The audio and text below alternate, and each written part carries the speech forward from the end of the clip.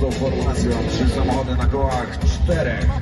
Natomiast e, w rolach głównych na kołach dwóch balansują Nela oraz Marcin.